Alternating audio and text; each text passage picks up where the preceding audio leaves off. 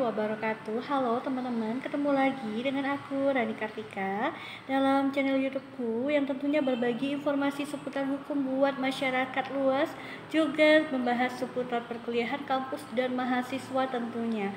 Oke, pada video kali ini aku ingin menyampaikan ada sedikit informasi hukum nih Update informasi terkait dengan uh, pertanahan lagi ya jadi biasalah videoku itu membahas kalau nggak seputar kampus mahasiswa paling banyak juga informasi hukumnya berkaitan dengan pertanahan.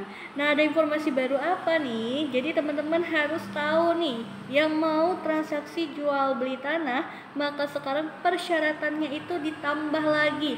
Nggak cukup kalau ke notaris cuman kita ngumpulin KTP, KK, lalu kemudian bawa sertifikat maupun NPWP maupun PBB-nya. Tapi ada satu syarat baru yang harus kalian nantinya patuhi gitu ya. Apa persyaratannya? Ya, sekarang lagi sempat diperbincangkan ini di kalangan para notaris gitu ya termasuk saya di grup-grup itu jadi karena ada kebijakan baru ini yang meminta untuk klien itu uh, apa namanya uh, mengumpulkan kartu BPJS kesehatannya. Jadi nanti salah satu syaratnya bawa itu teman-teman. Ya, jadi yang belum ngurus tolong diurus gitu. Urus uh, buat kartu BPJS kesehatannya. Nah, yang mau dibahas apa? Kita lihat, kita lihat secara bersama regulasinya itu bilang apa sih? Biar enggak apa yang saya sampaikan ini kalian beranggapan bahwa ah bisa-bisanya uh, Bu Rani aja gitu ya. Oke, terima kasih sebelumnya buat yang sudah mampir. Jangan lupa sebelum aku melanjutkan video ini klik dulu dong tombol subscribe-nya bagi yang belum. Lalu kemudian like, comment dan share ya informasi ini. Semoga ini dapat menambah wawasan pengetahuan kita bersama. Terima kasih, mari kita bahas cuman mau bagi informasi singkat aja ya teman-teman ini informasi yang baru banget di seputar pertanahan bahwa ada syarat tambahan nih buat teman-teman yang ingin mengajukan proses peralihan hak atas tanah melalui jual beli itu harus melampirkan yang namanya kartu BPJS kesehatan. Buat teman-teman yang belum dan ingin melakukan transaksi peralihan hak atas tanah, mau jual beli tanah, maka mohon diurus terlebih dahulu sebelum datang ke kantor notaris. Karena nanti apa dibawa fotokopi kartu BPJS kesehatannya. Nah, kakak ini bikin kebijakan ini kebijakan dari mana nih? Dasar hukumnya ada nggak ya? Jadi teman-teman per tanggal 6 Januari 2022 kemarin ya bulan lalu itu presiden mengeluarkan yang namanya instruksi instruksi presiden atau Inpres nomor 1 tahun 2022 di mana instruksi ini menyatakan ya dalam bunyi aturannya nah katanya dalam rangka optimalisasi pelaksanaan program jaminan kesehatan nasional peningkatan akses pelayanan kesehatan yang berkualitas dan untuk menjamin keberlangsungan program jaminan kesehatan nasional, maka dengan ini Presiden menginstruksikan kepada uh, seluruh jajaran di kementerian sampai pada gubernur, bupati ataupun wali kota untuk mengambil langkah-langkah sesuai dengan tugas fungsi dan kewenangannya masing-masing melakukan optimalisasi program jaminan kesehatan nasional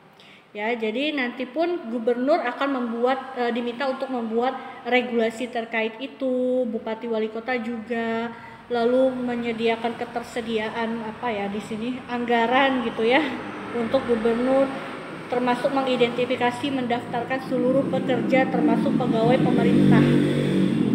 E, dengan status non aparatur sipil negara di wilayahnya menjadi peserta aktif dalam program jaminan kesehatan nasional. Jadi semua lini ya e, dari mulai kementerian, lini yang berkaitan dengan kementerian sampai pada gubernur, bupati, wali kota.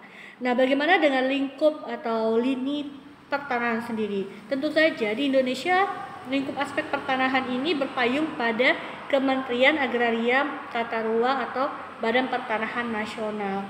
Nah, di dalam instruksi nomor 1 tahun 2022 ini disebutkan Menteri Agraria dan Tata Ruang atau Kepala Badan Pertanahan Nasional memastikan pemohon pendaftaran peralihan hak atas tanah karena jual beli merupakan peserta aktif dalam program jaminan kesehatan nasional.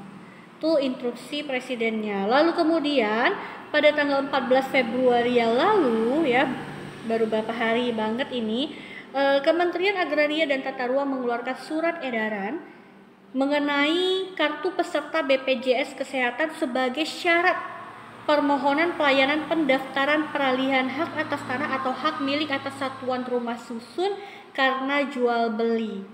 Jadi dalam surat edaran tersebut dikatakan bahwa setiap permohonan pelayanan pendaftaran peralihan hak atas tanah ataupun hak milik atas satuan rumah susun karena jual beli harus dilengkapi dengan fotokopi kartu peserta BPJS Kesehatan. Ini suratnya tertanggal 14 Februari kemarin. Nah, oleh karena itu ini sekedar karena ini sekedar informasi uh, tentunya ya, tentunya nanti uh, kebijakan baru ini perlu disosialisasikan. Jadi entah nanti Badan Pertanahan Nasional di masing-masing provinsi, kabupaten, kotanya itu akan memberikan sosialisasi kepada masyarakat. Kalau ke, kepada notaris, notaris sudah juga pada tahu ya. Jadi saya di grup-grup notaris itu juga sudah eh, apa namanya mengetahui ada kebijakan seperti ini. Tapi tentu saja nanti pasti kami juga menunggu eh, informasi atau sosialisasi dari kantor pertanahan. Karena biasanya seperti ini kan perlu disampaikan gitu melalui sosialisasi. Mungkin juga masyarakat akan e, dapat penyuluhannya gitu ya. Diharapkanlah semoga aja biar kita biar nanti ini nggak kaget gitu ya. Jangan sampai klien ini datang ke kantor notaris, lalu kemudian notaris bilang, e, oh ya bapak mau ngurus apa, lalu kliennya bilang saya mau jual beli tanah, ini dokumennya sudah saya bawa, tapi kan ternyata karena ketidaktahuan masyarakat tadi dan notarisnya menyampaikan bahwa oh pak maaf harus melampirkan juga nih syarat tambahan yaitu kartu BPJS kesehatan di fotokopi aja. Ada nggak pak? Jangan sampai reaksi masyarakat itu nantinya bakal bilang kalau loh kok ada syarat yang seperti ini? Kok kenapa harus uh, ada kartu BPJS segala? Ini kantor notaris mau ngurusin jual beli tanah atau puskesmas atau rumah sakit sih kok diminta juga gitu kan ya? Padahal notaris juga hanya menjalankan apa yang diterapkan apa yang ditetapkan oleh peraturan di atasnya gitu ya. Jadi teman-teman nih calon-calon uh, klien yang akan melakukan transaksi jual beli tanah semoga dengan adanya informasi seperti ini kalian uh, sudah tahu gitu ya. Jadi nanti kalau tiba-tiba datang ke kantor notaris dimintakan syarat itu ya jangan kaget dan jangan lagi protes karena memang udah kebijakannya seperti itu Alangkah mungkin alangkah lebih baiknya kita berharap nanti BPM masing-masing kabupaten kota akan melakukan memberikan informasi melalui sosialisasi kepada masyarakat maupun kepada para notaris gitu ya. Jadi nggak hanya untuk peralihan hak atas tanah, semua aspek seperti yang saya katakan tadi itu masuk atau maksudnya itu juga e, mensyaratkan e, kartu BPJS kesehatan tadi tergabung dalam uh, peserta aktif jaminan kesehatan nasional. Nah, seperti itu. Teman mungkin segitu dulu uh, informasi. Ini informasi ya, cuma mau nyampaikan informasi aja nih untuk kalian. Semoga apa yang aku sampaikan ini update informasinya dapat menambah pengetahuan kalian gitu ya. Uh, terlebih terkurangnya mohon maaf kalau ada yang ingin ditanyakan silahkan tulis di kolom komentar dengan bahasa yang sopan dan baik tentunya. Terima kasih karena sudah menonton. Assalamualaikum warahmatullahi wabarakatuh.